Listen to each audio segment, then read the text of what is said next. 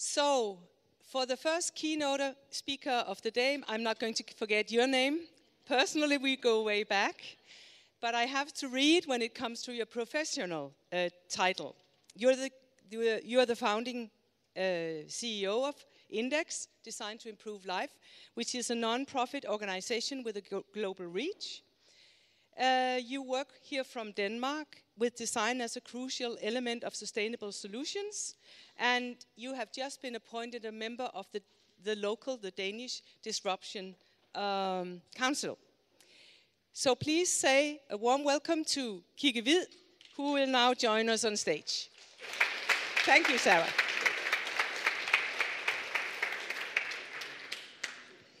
Thank you. Good to see a lot of old friends and a lot of new friends. Uh,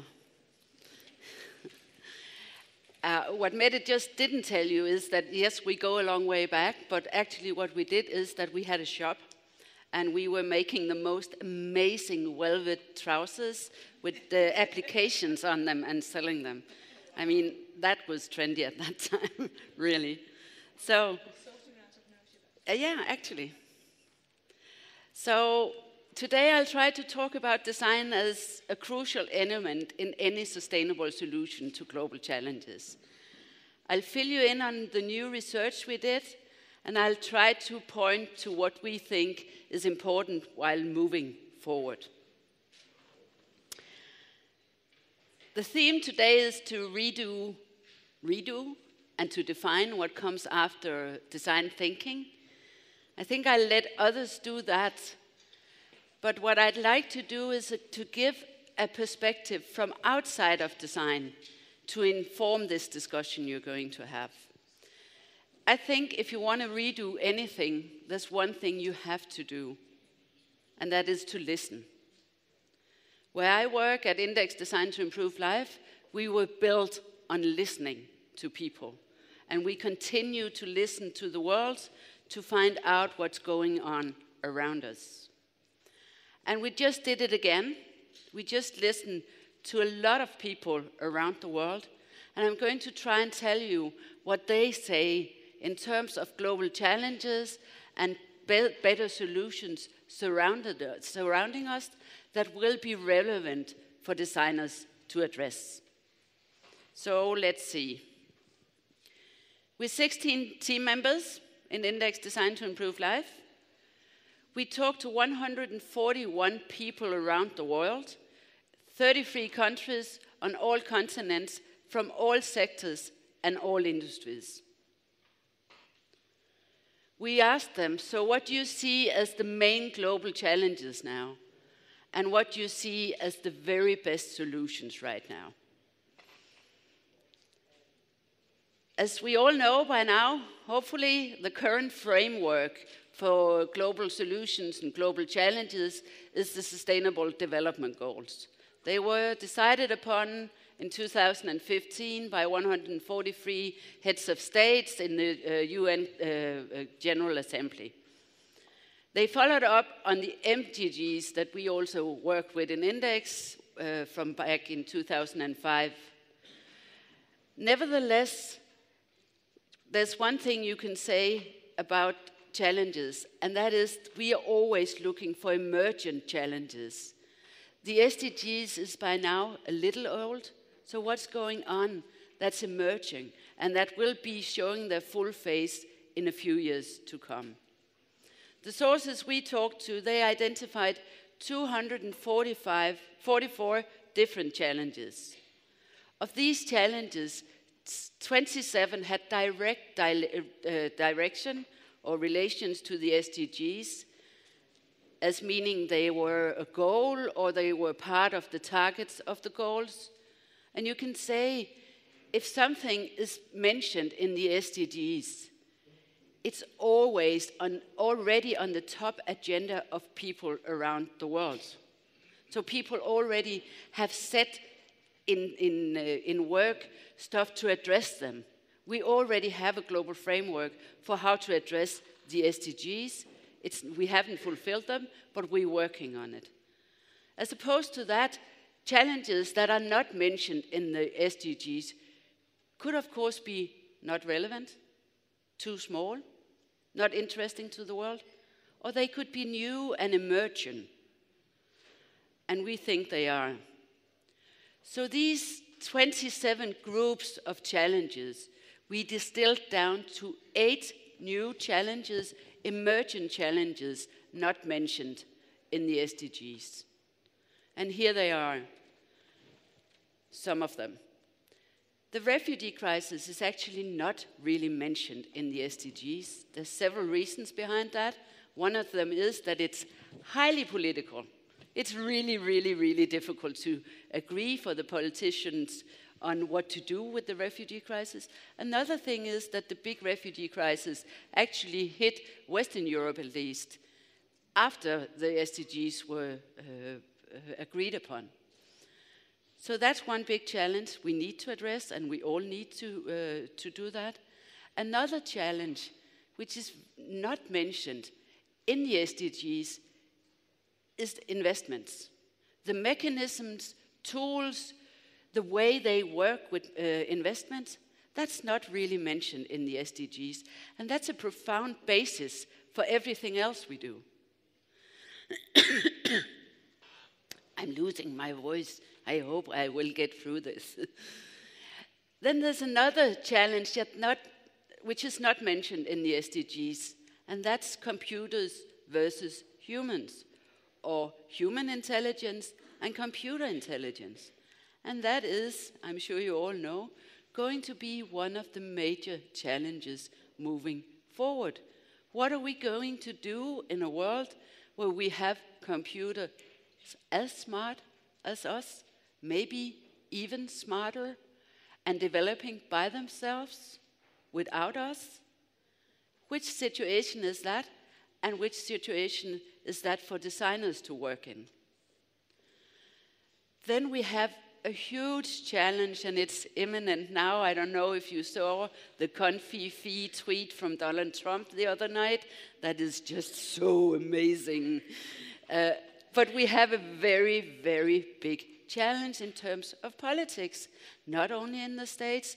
We have Brexit, we have the current election in France. All over the world, we have a huge distrust in our political systems and in our democracies. And that is for sure a challenge. We were used to trust facts. Now we don't even know what they are any longer. How are we going to, as designers or design related people, address these challenges? How are we going to fight for truth? To create movements that address our uh, democracy that makes new ways of thinking of how you can actually rule a country. But there are more. Another very, very specific group of challenges that all these people pointed to is about feelings. We've been doing this every year for 15 years, and for the first time ever, people actually tells us that feelings is an emerging global challenge. We never heard that before. So there's more, too much fear, too much apathy and hopelessness among people. There's hate, terrorism, extremism. There's a lack of empathy, trust, and tolerance. We see selfishness and greed. And all of that will amount to lack of social cohesion. And if we lack social cohesion, we are really, really bad off because social cohesion is one of the things that makes us able of doing stuff together and trying to address large challenges together. But in my mind, this is very interesting. Mette just told me about what was the term you used? Speciale. Yeah. What is that in English? I don't know. Be sold, yeah. buy be sold a hospital. Actually, people are starting to work on how do you put a soul into elderly care. How do you do these things? So we're starting to work. We always did as designers, But the globe is now starting to realize that feelings is a big challenge and we need to work with them in a very different way. So, after these piles of uh, challenges, and they're just adding on the SDGs, it's also good we looked for better solutions. We had all these people uh, pointing to 154 good solutions. That's roughly 100 less than the challenges that they saw, which is in itself uh, interesting. We divided these uh, good solutions in 35 groups and we condensed that into eight areas. And these are the areas where we see really, really good solutions coming up now. Of course, some of them are old. Uh, for many, many years, we've been seeing good solutions within education, which is as you all know, the biggest factor for social mobility. We've been seeing really, really good solutions within healthcare in terms of systems, services, and so on. But some of them are also quite new. And let me just touch briefly on a few of the new areas. In agriculture and food, we see a lot of innovation. We see uh, vertical agriculture, precision farming, crowd farming, we see agriculture without land with, uh, or using desalinated uh, water, seawater. We see, of course, a lot of use of robotics. We see a lot of use of the internet to inform and send knowledge or text based solutions around the world. And then we see the whole area of uh, lab grown meat or artificial meat uh, that has a huge impact on our CO2 co uh, consumption. And we see bunches and bunches of apps addressing food waste and uh, urban farming and all this stuff. So agriculture is actually moving. And that's aligned with the fact that they are also one of the industries doing the biggest harm to our world right now. So that might be a good thing. Then we see one of the dominant challenges was the investment uh, sector. In my mind, it's just so that there's so much happening in the world, but the investment sector insist on doing what they always did create a venture capital fund, uh, sell it out after seven to ten years, uh, demand a very high uh, return on investment. And that's not how the world works now. For instance, the designers I know and love and work with, they're not going to sell their company for money because they're actually there because they like doing it and because they think they, think they do something good to the world. So they have to change the whole system of investments. We're trying to do that in Index. I can tell you, it's quite all right. Uh, but we see good solutions new now. We see some uh, young entrepreneurs working together in groups to create a very different way. We see social bonds, of course, we see crowdfunding, all these things. So, that, so I think this fundamental industry for all of us is slowly changing. Uh, and of course, we see blockchain. I mean, I don't really get it yet. I don't know if you get it. If there's someone who really gets blockchain, please come up afterwards and tell me. But blockchain is going to really, really change it. And then, if we look upon uh, innovation within the political sphere, we see a lot of new solutions. We see uh, platforms like democracy.com, which gives millions of people direct influence on their politicians. We see apps where you can actually check if what they said during election campaign is also going to be rolled out when they are seated in, in their seats, or where you can check the company you buy stuff for, which political parties they support, or the other way around. So we see a lot of this kind of innovation within uh, policy making. So there are already a lot of great solutions out there. And I have not been really, really concrete. Uh, we have them on our website, designtoimprove.life.dk. Uh, the, there's zillions of solutions. You can go and check them. Uh, so I wouldn't have to do that for you now. Um, but we need designers to become aware of how to solve challenges like this.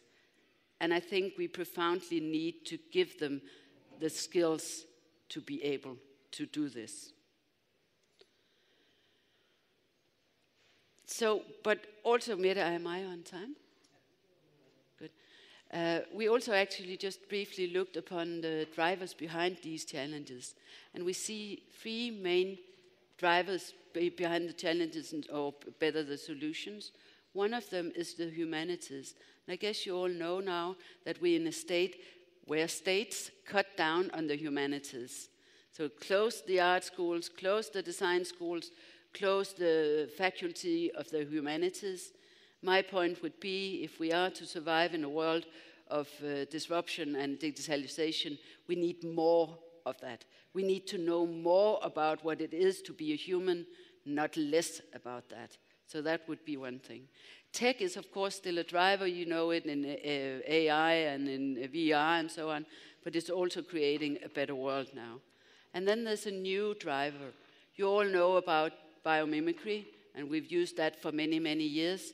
But the inspiration from plants is profoundly changing now from doing great facades or new materials to replicating the systems plants use. Plant is a uh, decentralized being where we centralize being.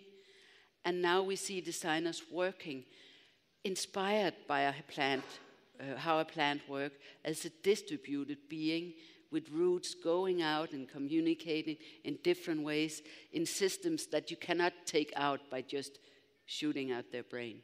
So, plants, the inspiration for plants is changing and it's becoming really, really profound. So, I hope I, by this, have been giving you a really super, super quick insight into a lot of uh, discussion we've had with a lot of people around the world we mapped these 144 discussions in, in a book that's called uh, Field Notes of Global Challenges. Uh, it's available on our website, so you can check it there. And we actually draw down in field notes all these interviews. Um, but moving forward, so what does this mean for the future of design? What is it we have to do? To me, it falls in three groups. First of all, we need to strengthen the core ability of designers. We need to strengthen the core skills of designers. I've never been an advocate or always been an advocate for the fact that designers need to be able to give form, they need to be able to draw, they need to be able to understand their color schemes. That is, to me, their basic knowledge and they need to be able to do that. Then they need to understand specific processes. They need to be able to guide or to lead or to take part in creative, innovative, uh, iterative processes. They must be better at understanding really complex relations between man and thing, between uh, people, between people and surroundings we need to be much better at getting designers to understand these very difficult relations around them, us.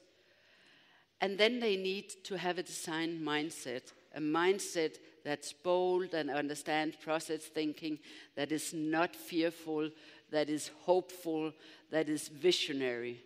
These are some of the things I believe designers must do. And then we need to be far better storytellers. I'm sure you all know the situation where a person tells you, asks you, so what is design really? And you start going, yeah, design is the human capacity to make and shape our environment in ways that means, you know, or the other stuff you say. And it doesn't work anymore. I really, really think we're not good enough to tell what it is designers does and what designers doing in multidisciplinary teams. What is the precise part of this. What is the value designers add to teams, for instance? We need to be far better to, to tell those stories.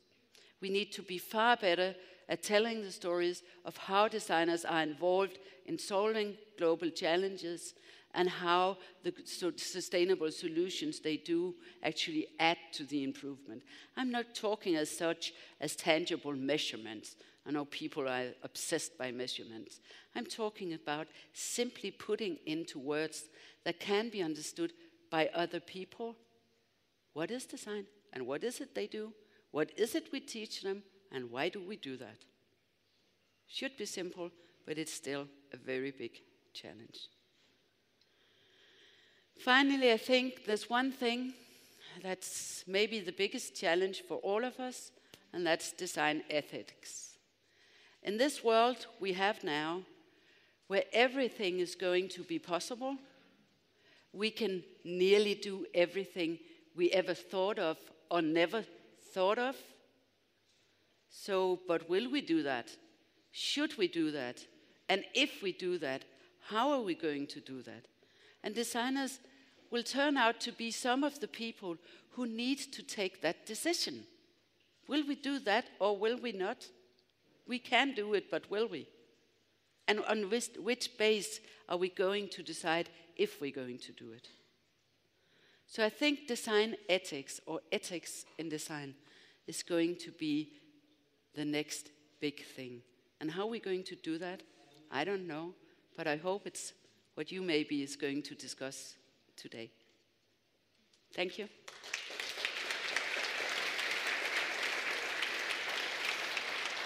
Thank you, Kigge. We would like to give you a local gift and also a, a small bunch of flowers that, whoops, that you can wear for the rest of the day because you made this beautiful speak. Thank you. And what is that? It's a star.